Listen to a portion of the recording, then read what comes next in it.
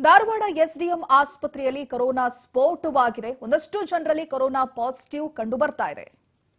ನೂರ ನಲವತ್ತು genome sequence ವರದಿ ಇವತ್ತು ಬರ್- ಬರ್ತಾ ಇದೆ. ಈ ಹಿಂದೆ ಕೊರೋನಾ ಸ್ಫೋಟವಾಗಿತ್ತು ಈ ಸಂಬಂಧವಾಗಿ ನೂರ ನಲವತ್ತು ಜಿನೋಮ ಸೀಕ್ವೆನ್ಸ್ ವರದಿ ಇವತ್ತು ಬರುತ್ತೆ. ಎಸ್ಡಿಎಂ ಆಸ್ಪತ್ರೆಯಲ್ಲಿ ಇಂದೂ ಕೂಡ ಒಪಿಡಿ ಸೇವೆ ಇರೋದಿಲ್ಲ. ಸಾರ್ವಜನಿಕರ ಪ್ರವೇಶ ನಿರ್ಬಂಧ ಅದೇ ರೀತಿಯಾಗಿ ಮುಂದುವರಿಯುತ್ತೆ. ಎಸ್ಡಿಎಂ ಆಸ್ಪತ್ರೆಯ ಐನೂರು ಮೀಟರ್ ಸುತ್ತಮುತ್ತಲಿನ ಪ್ರದೇಶದ ಶಾಲಾ ಕಾಲೇಜುಗಳ ಆರಂಭಕ್ಕೆ ಅನುಮತಿಯನ್ನ ನೀಡಲಾಗಿದೆ ಕೂಡ. ಇನ್ನು ಜಿನೋಮ್ ಸೀಕ್ವೆನ್ಸಿಂಗ್ ವರದಿ ಬಳಿಕ ತಾಂತ್ರಿಕ ಸಲಹಾ ತಜ್ಞರೊಂದಿಗೆ ಚರ್ಚಿಸಿ ಒಪಿಡಿ ಆರಂಭಿಸುವುದಕ್ಕೆ ನಿರ್ಧರಿಸುವುದಾಗಿ ಡಿಸಿ ನಿತೇಶ್ ಕೆ ಪಾಟೀಲ್ ಮಾಹಿತಿಯನ್ನ ನೀಡಿದ್ದಾರೆ.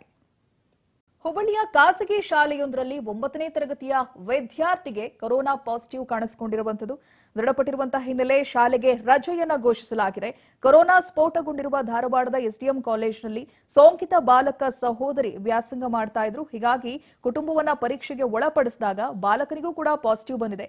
ಸೋಂಕಿತ ಬಾಲಕನನ್ನ ಹೋಮ್ ಕ್ವಾರಂಟೈನ್ ಮಾಡಲಾಗಿದೆ. ಮುಂಜಾಗ್ರತಾ ಕ್ರಮವಾಗಿ ಶಾಲೆಯಲ್ಲಿರುವ ಮಕ್ಕಳಿಗೂ ಕೂಡ ಕೊರೋನಾ ಟೆಸ್ಟ್ ಮಾಡೋದಕ್ಕೆ ಶಾಲಾ ಆಡಳಿತ ಮಂಡಳಿ ಇದೀಗ ನಿರ್ಧರಿಸಿರುವಂತದ್ದು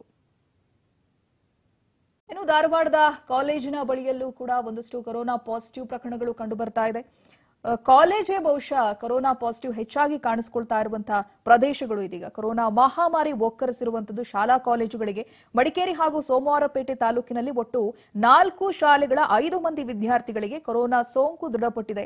ಕೋವಿಡ್ ದೃಢಪಟ್ಟಿರುವ ಶಾಲೆಗಳಲ್ಲಿ ಉಳಿದ ವಿದ್ಯಾರ್ಥಿಗಳಿಗೂ ಕೋವಿಡ್ ಟೆಸ್ಟ್ ಅನ್ನು ಮಾಡಲಾಗಿದ್ದು, ಶಾಲೆಗೆ ಡಿಎಚ್ಒ ವೆಂಕಟೇಶ್ ಭೇಟಿ ನೀಡಿ ಪರಿಶೀಲನೆ ನಡೆಸಿದ್ದಾರೆ. ಮಕ್ಕಳಲ್ಲಿ ಸೋಂಕು ದೃಢಪಟ್ಟಿರೋದ್ರಿಂದ ಪೋಷಕರು ಆತಂಕಕ್ಕೊಳಗಾಗಿದ್ದಾರೆ.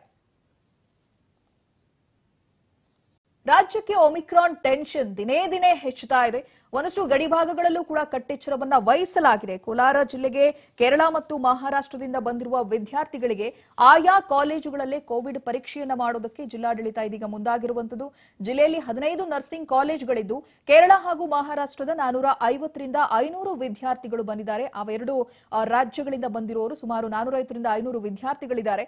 ಈ ಎಲ್ಲಾ ವಿದ್ಯಾರ್ಥಿಗಳಿಗೂ ಆರೋಗ್ಯ ಇಲಾಖೆ ಕೋವಿಡ್ ಟೆಸ್ಟ್ಗೆ ಮುಂದಾಗಿದೆ. ಜೊತೆಗೆ ಸರ್ಕಾರದ ಮಾರ್ಗಸೂಚಿಗಳನ್ನು ಜಿಲ್ಲೆಯಲ್ಲಿ ಅನ್ವಯಿಸಲು ಜಿಲ್ಲಾಡಳಿತ ನಿರ್ಧಾರವನ್ನು ಮಾಡಿರುವಂತದ್ದು ಆದರೆ ಗಡಿಗಳಲ್ಲಿ ಯಾವುದೇ ಕಟ್ಟೆಚ್ಚರವನ್ನ ವಹಿಸಿಲ್ಲ, ಇದು ವಿಪರ್ಯಾಸ. ಇನ್ನು ಜಿಲ್ಲೆಯಲ್ಲಿ ಒಮಿಕ್ರಾನ್ ಲಕ್ಷಣಗಳಿರುವ ಸ್ಯಾಂಪಲ್ ಕಂಡು ಬಂದಿಲ್ಲ. ಒಮಿಕ್ರಾನ್ ವೈರಸ್ ಕಾಣಿಸಿಕೊಂಡಿರುವ ದೇಶಗಳಿಂದ ಯಾರೂ ಕೂಡ ಬಂದಿಲ್ಲ ಅಂತ ಜಿಲ್ಲಾ ಆರೋಗ್ಯಾಧಿಕಾರಿ ಸ್ಪಷ್ಟಪಡಿಸಿದ್ದಾರೆ.